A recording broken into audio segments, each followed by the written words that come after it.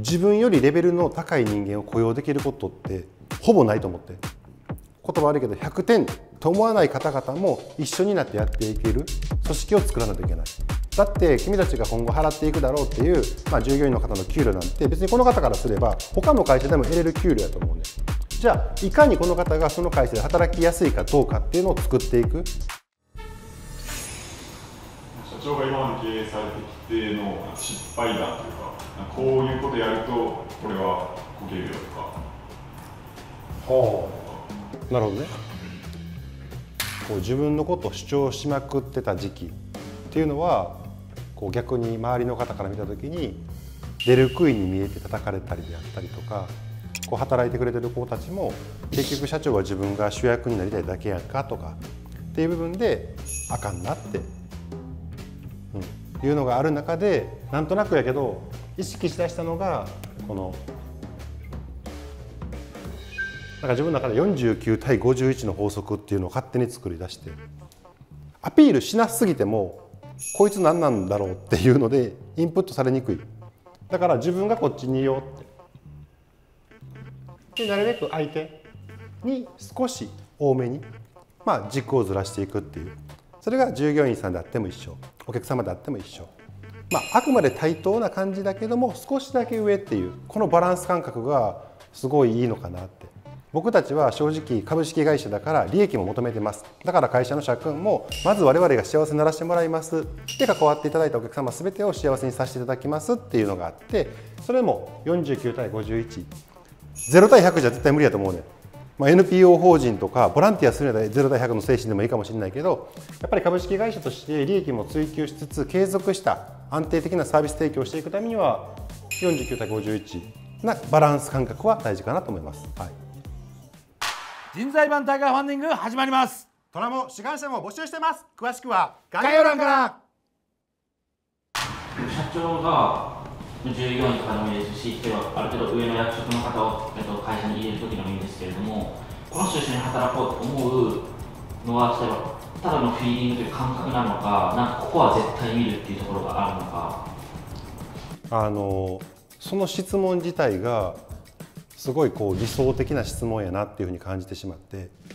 おそらくよこれは合ってるか間違ってるか別として自分が誰かを雇用する雇用させていただくってなる時に自分よりレベルの高い人間を雇用できることってほぼないと思って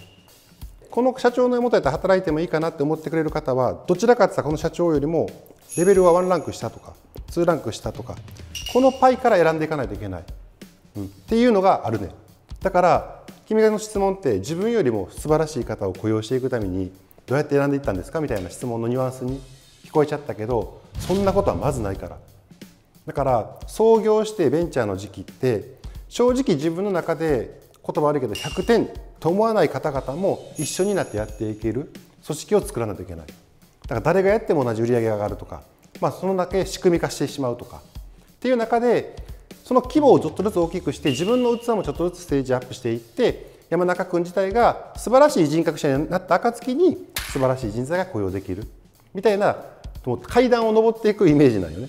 いきなりじゃあ、うんと、一部上場させた。例えば会社で働いててそこの、まあ、トップ3でしたみたいな方が山田君の会社来るかって言ったら来るわけないやん。はい。うん、だからそれを考えるのは今は時間の無駄かなって。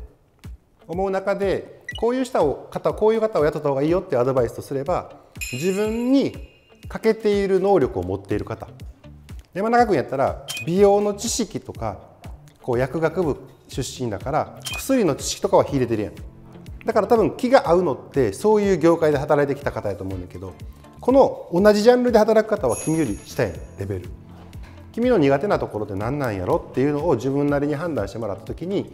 例えば仮にそれが数字っていうんやったら経理とかそういったところ働いてきた方をまあ仲間に入れるとそこの知識を補ってくれるわけやんか。だから君が今何点なのか自己評価をして仮に40点ならば残り何人かで残り60点を補っていただいてみんなのおかげでこの会社は成立してるんだよって。じゃあ社員さんもハッピー金もハッピー。じゃあみんながモチベーション高いからイコールすごい結果が出る。そういう組織になるんじゃないのかなと思うから。なるべく自分と違うタイプを選んだ方がいいけど創業時ってめちゃめちゃ自分に似てるメンバーしか集まらないから。だから A スタイルの創業時ってなんかもう10代で経営してかっこいいんですね20代僕も絶対経営しますみたいななんかこんな感じで歩くようなやつ。ばっかり俺の後ろ歩いてたからなんかこう変な会社やと思われた。イケイケみたいな。うちの会社が一番すごいんだってみんな言ってた。けど振り返って考えてみたら全然すごくないなって。だって社員規模かってその時って10人とかそれぐらいしかいなくて胃の中の蛙でまあ結果として一人一人の売り上げ営業力がすごすぎたから、まあ、フレッツ光を売ろうがウォーターサーバーを売ろうが何でも一時やってん。でもそれって大した売り上げでもないしあの A スタイルという会社を知ってる方ってすごい少なかったし今現在でもすごい少ないと思ってるから勘違いやなって若気の至りやなって思う、なんで多分君の会社もそこまであの初めは君に似たようなタイプ。なんかこう美容をやって女の子をきれいにしたいんですって言ってたらモテるんじゃないのかなって勘違いしてる子たちが来そうな気がする。それでいくと、まあ、そのスキルの上上下というか年上の方を目上の方を雇用することってあるありえると思うんですけどもちろん。そういう時にどう接するのか。どう接する？ただ目上の方だから自分より人生経験は長けていらっしゃるわけでしょ？そういう意味では尊敬の念は持った方がいいと思うんですよ。でもあくまであの仕事って指揮命令がかん、ね、生じてくるわけじゃないですかそこは年齢関係なく、まあ、年齢上あなたの方が上かもしれませんが会社上一応私が代表なのでこういう指揮命令でやらせてもらいますねみたいな初めにきちんとその関係さえ構築していたらもちろん来られる方は自分の年齢が高いことも分かっていらっしゃるからそういうのは当たり前に分かってるけどああえてそういうところにも気を回してくれる社長なんやっていうのが君のことをきちんと持ち上げてくれる存在になっていくと思うんですよ。だからお金払ってるから当たり前やよと思ったらあかんね。だって君たちが今後払っていくだろうっていう、まあ、従業員の方の給料なんて別にこの方からすれば他の会社でも得れる給料やと思うね。じゃあいかにこの方がその会社で働きやすいかどうかっていうのを作っていく、まあ、そういうちょっとした心遣い。一つで多分人間って変わるやん気持ち。君たちがそうじゃない？今だって大した給料もらってるわけじゃないこの会社から。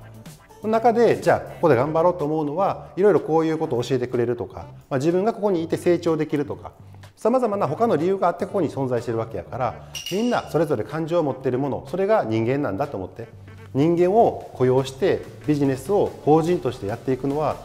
簡単なようで難しいのはそういうところかな。人の気持ちをきちんと理解してください。それが福祉の心です。